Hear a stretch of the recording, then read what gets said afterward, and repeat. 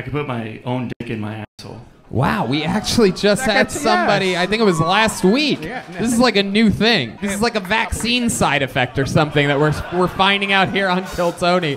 Let me ask you this. Do you go over the balls and straight around, or the do you, side, or do to you the take the service road and go around straight to the There's a butthole? kid here, man. Ah, I- Luna, what do you think of all this? What do you think of this chaos up here? What you fuck?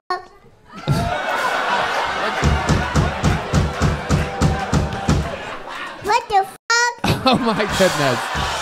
Is this allowed on YouTube?